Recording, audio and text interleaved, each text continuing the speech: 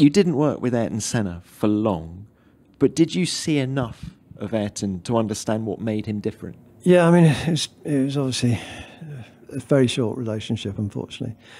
I suppose I'm not as bad as I used to be on this, but kind of part of my competitive thing was is that when you have somebody like Ayrton that you're all up against and battling year after year, then you kind of not demonize him, but you you kind of he's the enemy, and so when, course met him occasionally, but never really talked to him until he first visited the factory at the end of what must have been '93.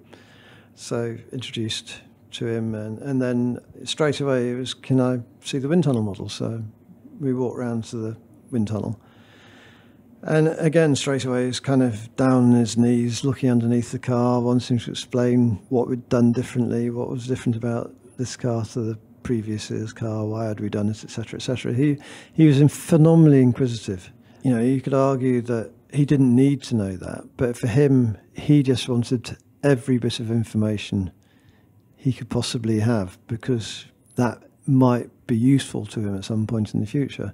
I think probably more than any other driver that I've been involved with, that I would say is what I found unique about him. And those pole laps, was he doing something different? Could you see from the conversations, from the data, that he was famous for his throttle application, yeah. for example? The the 94 car is one of my huge regrets, regardless of what was the cause of the accident at Imola.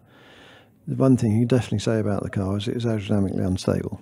We'd had two years with active suspension, and I completely, you know, it's my fault, I completely messed up the the aerodynamics of going back to passive suspension and the much bigger ride height range that that has to cope with.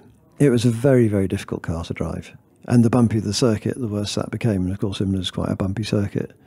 So, what he did with that car was quite extraordinary. And it, he could do that in qualifying. In Brazil, he, he managed to carry it, but spun at the last corner near the end of the race, extracting that performance from it. Damon was didn't try to extract that level of performance from it, and so he finished the race. But he knew it was unstable. Ayrton's self confidence and self belief in his car control, he he would always try it. Um, yeah, I mean, his, he was an extra.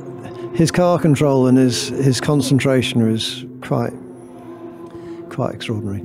Did 1994 make you question your involvement in Formula One? Did you ever want to stop? I thought about it. I have to say, you'd be a fool or be something wrong if you didn't question yourself and question what you're doing. First of all, it have been quite selfish because if Patrick or I, or both of us, had decided we were stopping, we'd have left the team in complete disarray.